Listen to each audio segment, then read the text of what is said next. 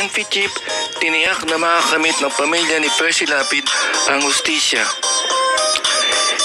Tiniyak ni General Dolpo Asurin Jr., hepe ng Philippine National Police o PNP sa pamilya ni Percy Balmabasa na ng pulisya ang lahat para mabigyan ng hustisya ang pagpatay sa veteranong broadcaster.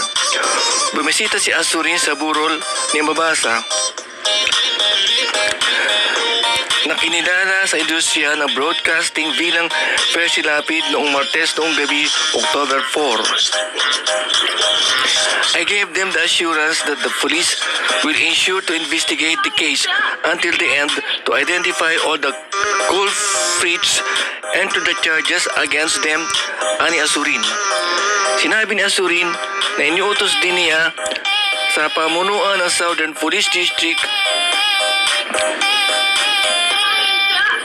masusing pagsasagawa ng investigasyon kabilang ang pagripaso sa lahat ng lugar kung saan dumaan si Mabasa bago siya inatake noong lunes ng gabi, October 3. Gayunpaman ay hindi pa magbibigay ng mga tiyak na detalye tungkol sa motibo ng pag-atake sa kabila ng pagkakaroon ng persons of interest ay magiging napapaaga pa umano upang pag-usapan ito lalo na't wala pa ang mga ebidensya na maaaring tumayo sa korte.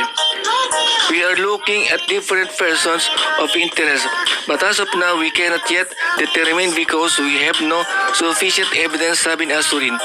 Sinabi Asurin na tinalakay din niya ang usapin sa pamilya ni Mabasa na nagsasabi sa kanya na mas gusto nilang panagutan ang mga taong itao kahit na nangangahulugan ito ng mas mahabang panahon ng investigasyon.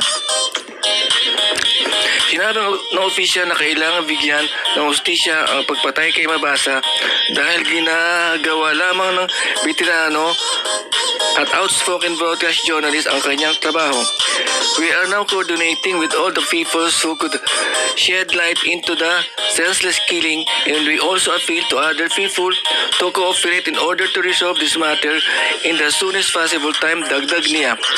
Dalawang beses na binaril si Mababa habang pauwi sa harap ng gate ng isang subdivision na kanyang tinitiran. Batay sa ulat ng pulisya, sinasadyang binangga ng isang puting sports utility vehicles ang kotse ni Mabasa mula sa likuran upang mapilita ng itong ihinto ang sasakyan. Saka siya binaril ng gunman na sakay ng motorsiklo. Ano ang masasabi niyo sa kaso ito?